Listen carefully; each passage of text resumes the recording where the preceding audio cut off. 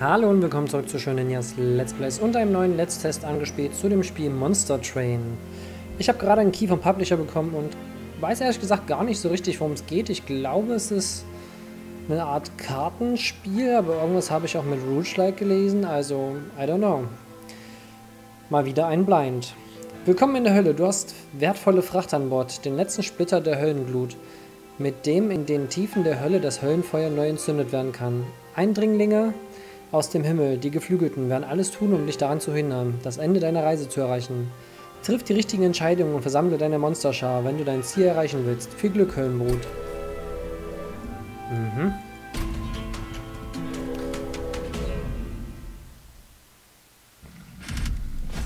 Himmlischer Priester. Diese Jünger haben sich dem Himmel verschrieben. Sie werden versuchen, die Lebenskraft ihrer Mitstreiter wiederherzustellen. Okay, das sieht lustig aus. Und wir sind scheinbar unterwegs. Beschütze deine Höllenglut. Dies ist deine Höllenglut. Wenn sie durch die Angriffe deiner Gegner zu viel Schaden erleidet, ist die Reise zu Ende. Und es gibt mehrere Etage. Gegner sind in deinen Zug eingedrungen. Gegner betreten den Zug auf der unteren Ebene und steigen jeden Zug eine Ebene auf. Wenn sie oben ankommen, greifen sie die Höllenglut an. Mhm.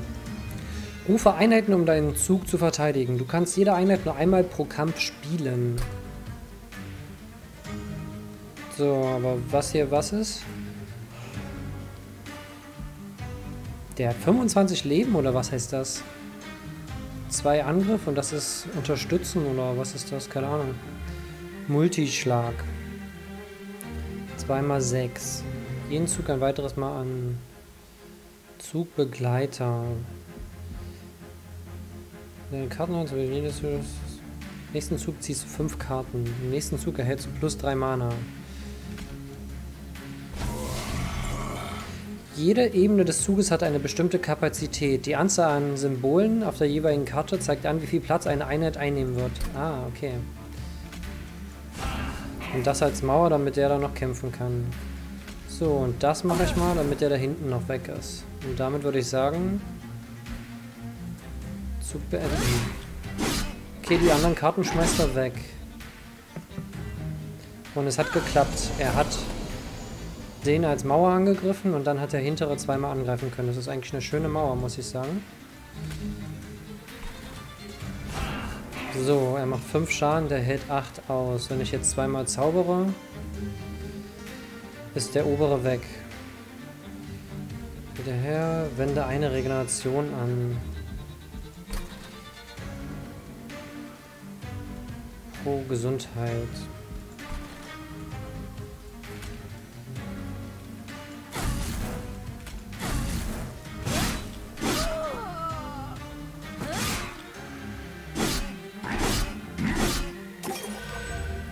Ah, der heilt 5. Das ist also das Grüne.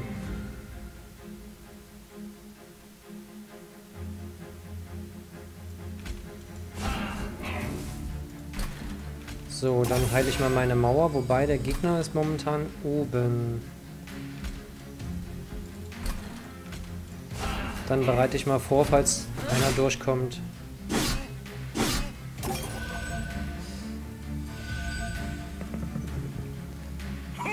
Uh, okay, das ist der Boss.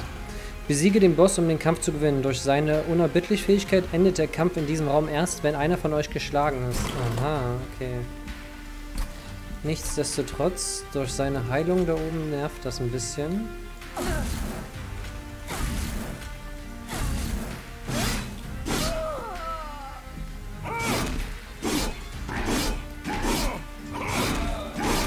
Achso, ist das gemeint.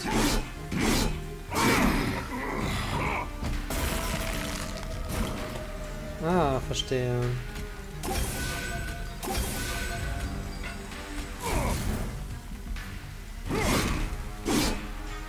Tschüssi. Früher Überlebende Erfolg bekommen. So, Kampf gewonnen plus 1000, Zug 2, Bosssturm plus 20%. Münzen, ein Stammespack und ein Nebenstammpack. Lass eine Einheit aufsteigen. Wähle eine Karte. Aha. Das ist ein Monster. Wende drei Wut auf verbündete Einheiten an. Wut. Wird jeden Zug reduziert, also Angriff hoch.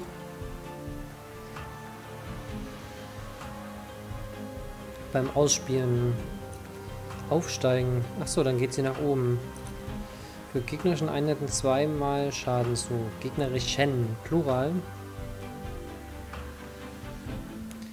Deine gesamte Verleumdung gut Je mehr du bezahlst, desto stärker ist der Effekt. Nur eine Ebene, aber nur Gegner. So, aber ich glaube, ich nehme den. So, und wir kriegen noch was. Mit plus 4, wende Dorn an. Mit Dorn angegriffen und nimmt der Gegner Schaden. Okay, stellen wir von 10 wieder her. 5 Schaden, wenn geheilt wurde. Bringe diese Einheit nach vorne. Aha. Nee, ich mach mal das. so, und jetzt gibt es zwei Wege, oder was? Schmiede einen Zauber, um neue Kräfte zu erhalten. Schmiede eine Einheit, um neue Kräfte zu erhalten. Aha.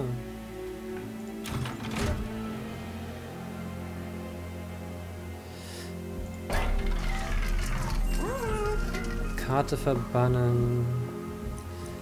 Verbessere deine Einheit um Verbessere eine Einheit mit plus 10. Das klingt ja richtig viel. Mit 1 Multischlag. Und so ein weiteres mal an.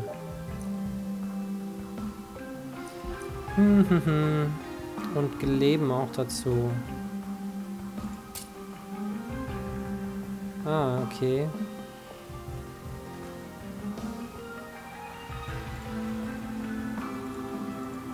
Und es gibt mehrere Updates, die man haben kann, wie es scheint.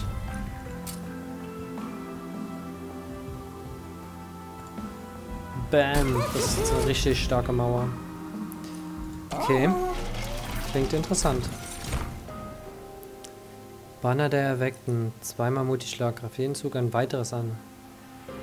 Dreimal drei. Okay. Erhalte 60 maximale Gesundheit dazu. Maximale. Auf sich selbst, oder was? Oder auf mein Herz. Verhindert geheilt wird, auch bei voller Gesundheit. Ne, ich glaube, ich mache mal das. Achso, ich musste mich also einfach nur... Mhm. Zwei Unterstützung und dann geht's zum nächsten Kampf. Stachelige Jünger. Bei diesem stacheligen Gegnern sind direkte Angriffe schmerzhafter als sonst. Mit Zaubern von weiter oben kannst... Mit Zaubern von weitem kannst du kämpfen, ohne deine Einheiten zu opfern.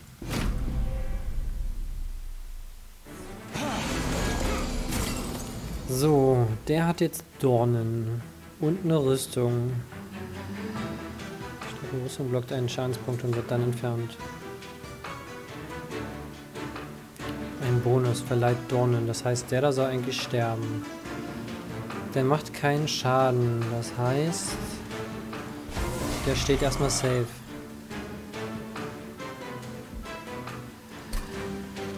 Ah, wie viel ich kriege? Okay, wie viel ausgeteilt wird. So, wenn ich jetzt so mache, hat er keinen Dornen mehr und ich kriege keinen Schaden. So, Multischlag. Kann hier keinen weiteren hinstellen wahrscheinlich. Aber ein Multischlag-Typ wird wahrscheinlich nicht lange überleben. So, das lohnt zwar nicht, aber da das Mana sowieso verschwendet wird, glaube ich, hat er wenigstens Regeneration. So, und ich habe irgendwie das Gefühl, dass das ganz schön laut ist.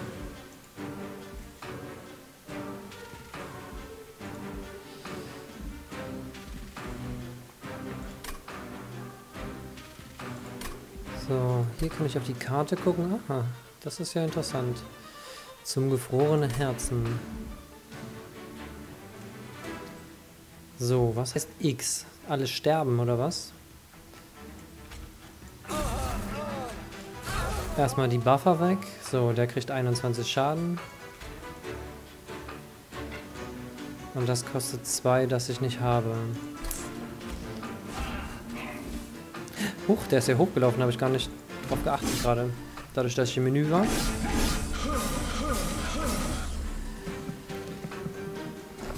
Durch sein Schutzschild. 5. Okay, der würde jetzt sterben. Das sieht eigentlich gut aus.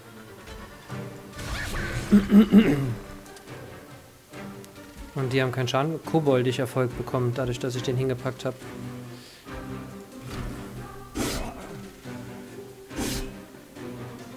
Der andere stirbt nächste Runde. Okay.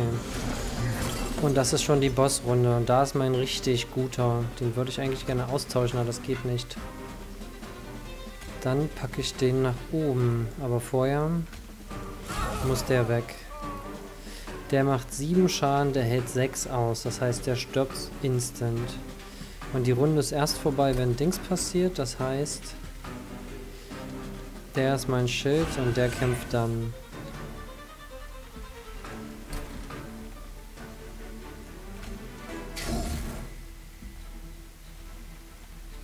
Sterben alle, heißt das wahrscheinlich. Der greift sogar zuerst an. Wie gemein ist das denn?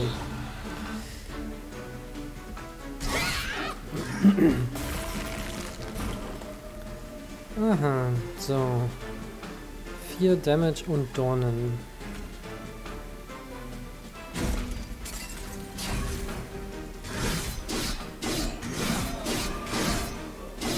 Bam. Und wieder zwei Karten. So, was von Seltenheit habe ich aber noch nicht gesehen. Fünf Rüstung. Damit könnte ich den einen mit Doppelschlag verstärken. Wende 15 Rüstung auf die vordere verbündete Einheit an. Und das ist eine Kreatur. Ist eigentlich ganz nett. Mit plus 3. Was ist der Unterschied? Achso, hier ist Leben drauf und da ist Dorn und dafür aber eins teurer. Regeneration. Ich glaube, mache ich so.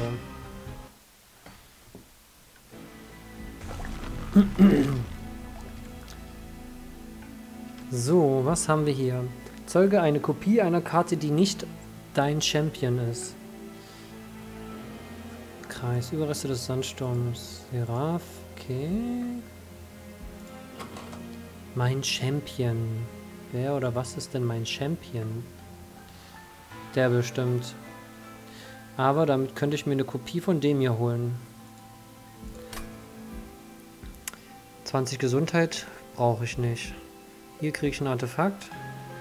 Interessante Dinge. Okay. Dann nehmen wir mal den Weg. Einheiten kosten zwei weniger. Das ist ja richtig gut. Mal gucken, ob die dann noch null kosten. Bestimmt. Wenn drei schwindelt auf gegnerische Einheiten an, die sich außerhalb der Aufstiegsphase zwischen den Ihnen bewegen. Überspringt den nächsten Angriff. Damit könnte man den Boss... Aber ich nehme trotzdem das.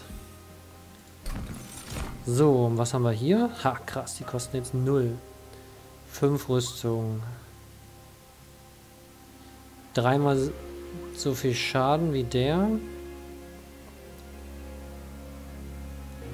Nach dem Kampf ausgelöst. Also verrechnen ist ein Todesröcheln. Wird nach dem Kampf ausgelöst.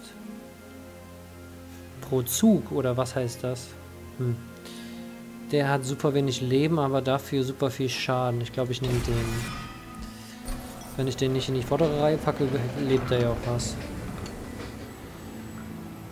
So, was hier? Eine Spalte im Eis zwingt den Knochenrüttler zum Anhalten. Du hast solche Spalten schon gesehen. Oftmals konntest du dort durch uralte magische Kräfte deine Reihen verstärken, aber diese hier ist instabil. Wenn du hier etwas in die Gletscherspalte wirfst, könnte das ungewöhnliche Nebeneffekte haben. Der Energie einfach aus sicherer Entfernung aufzunehmen, könnte eher die erwartete Wirkung haben. Aus sicherer Entfernung, kopiere eine Karte. Kopiere eine Karte fünfmal? Das ist doch mal richtig krass. Aber was ist der Nachteil?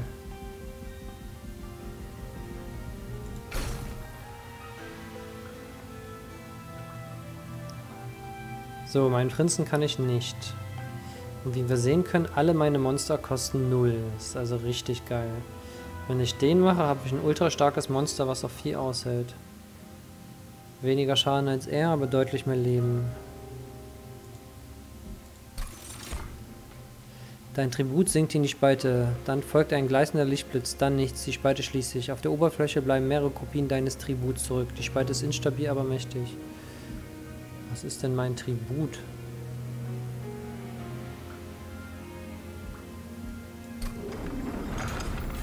Hm.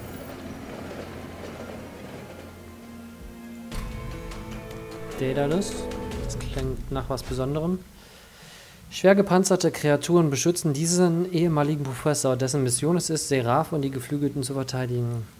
Panzersiegel. Konstruiere Bomben, kommen mit Schadensschild ins Spiel. Neutralisiere die nächste Schadensquelle. Aha. Konstruierte Bomben kommen mit Schadensschild ins Spiel. Daedalus ist der bisher stärkste Boss. Er kann sich frei zwischen den Ebenen bewegen und ist aber Angreifer, wenn du die Gegner der jeweiligen Ebene besiegst. Ähm, okay. Pass auf die Auslöser auf. Diese Bombe hat eine ausgelöste Fähigkeit. Sie explodiert in diesem Zug und verursacht dabei Schaden. Halte den Mauszeiger über die Einheit mit dem violetten Auflösesymbol, Auslösesymbol, um Details zu ihrer Fähigkeit zu sehen. Wird ausgelöst, wenn diese Einheit im Zug ist. Vordere Gegner 10 Schaden. So, aber neutralisiere die nächste Schadensquelle. Also müsste ich zweimal drauf zaubern, damit ich da durchkomme. Die machen alle nicht so viel Schaden. Fange ich doch mal so an. So, wie war das? Der heilt. Und der kämpft nur.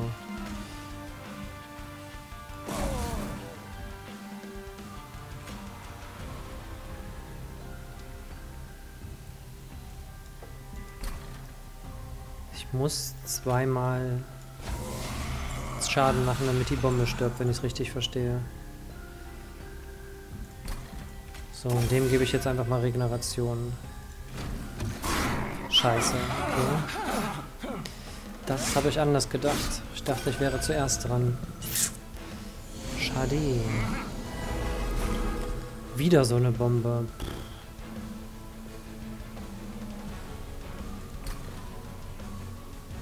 Den haben wir so oft. Damit würde ich mir doch hier erstmal wieder eine neue Mauer bauen. Wut alle. Ich habe schon wieder vergessen, was Wut macht. Ach ja, Damage hoch. Damit macht der jetzt 9 mal 3. Das ist natürlich auch böse. So, und das unten hinzumachen. Ich glaube 13 mal 3. Dornen. Okay, dann mache ich mal so. Wobei, warte mal. Der ist ganz oben. Ich hätte ihn eigentlich sonst nach unten gepackt, aber so können sie ihn angreifen.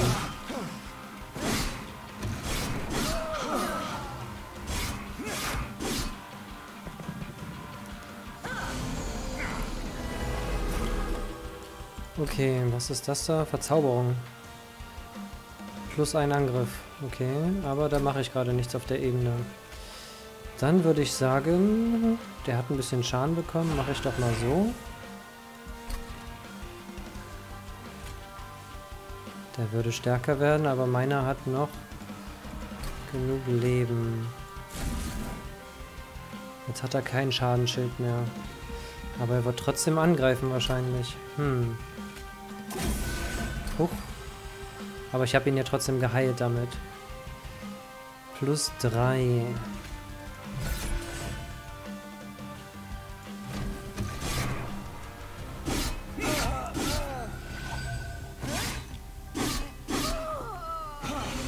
Uh, noch sowas. Oh, vier Sachen sind da jetzt. Auf die vordere verbündete Einheit an. Und wieder der, der bei Zauber irgendwas macht. Ich hätte zwei Zauber, damit könnte ich die Bombe zerstören. Ich könnte auch noch eine dritte Kreatur beschwören. Die Frage ist... ach nee, das geht ja gar nicht, weil die sind zu teuer. Das heißt, ich könnte den hier unten machen. Damit hat der 15 Rüstung. So, den kann ich nicht machen. Könnte den verstärken. Könnte den heilen. Der kriegt, glaube ich, durch ihn gar keinen Schaden. So, die Frage ist... Zaubere ich zweimal, dann wird der stärker. Der erste stirbt auf jeden Fall. Wenn ich zweimal zaubere, könnte ich das Schild zerstören.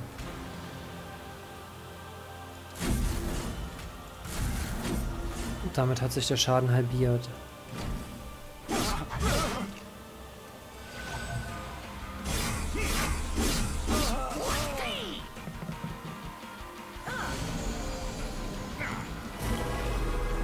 Okay.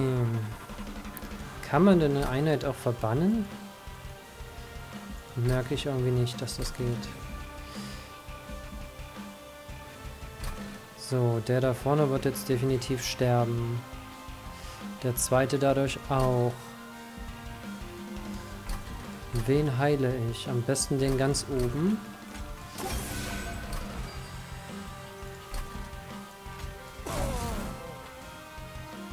Kann ich nicht machen. Der wird sterben. Aber hier wird jetzt Fett Damage kommen.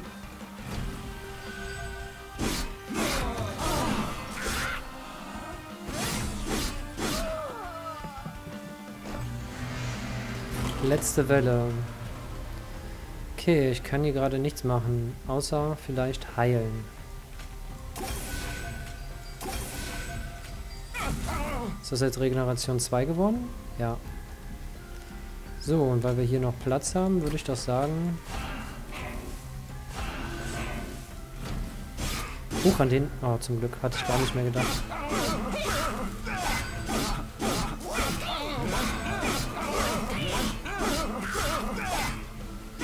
Geschafft, diesmal in der untersten Ebene. Dadurch kriegen wir dafür mehr Bonus. Viele Züge vor deinen äh, Punkte. So, ein seltenes Pack bekommen. Einheit ziehen. Ziehe eine eine deines Haupt- oder Nebenstamms. Ziehe, was heißt ziehe? Eine starke Verbesserung. Okay, seltenes Pack erstmal. Verbraucher. Kann nur einmal pro Kampf ausgespielt werden. Ziehe eine Einheit und verbessere sie mit plus 20, 20 und für 0. Gut, 0 kosten sowieso alle. Füge der obersten gegnerischen Einheit 15 mal so viel Schaden zu, wie Kobold-Einheiten in deinem Deck sind. Also 30. Das wäre also ein Instant-Kill für manche. Zwei Wut und zweimal, zweimal Wut und zweimal Rüstung. Für X. Ach so. Das heißt sechsmal Wut und sechsmal Rüstung. Auf alle? Ich glaube, das ist irgendwie am coolsten hier. So, Einheit ziehen. Achso, heißt einfach nur, ich, ich ziehe eine Kreatur. Entdecken quasi. So. Die ist natürlich geil, wenn die eine fette Verbesserung kriegt, wie mit eben gezogen plus 20. Dann würde die 3 x 23 Schaden machen. Das mache ich auch, darauf pokere ich jetzt mal. So, und was ist das? Pro Zug ein mehr Mana. Ziehe jeden Zug eine zusätzliche Karte. Ich glaube, das würde ich machen weil meine Karten sind zu günstig. Ich kann momentan alles spielen. Eine Karte mehr heißt, ich könnte was weiteres spielen. Ein weiteres Monster auf jeder Ebene wäre dadurch möglich. Ist natürlich auch praktisch. Nur das Links lohnt nicht. Und das Herz wird auch verstärkt. Ähm, jeden Zug eine zusätzliche Karte. Oder lieber ein weiteres Monster spielen können. Das lohnt erst zum Late Game, wenn ich allerdings habe. Das. Ach komm, davon habe ich auch im Early Game schon was. So, nächste Ebene. Was sagt die Zeit? 24 Minuten. Na, dann machen wir erstmal einen Break.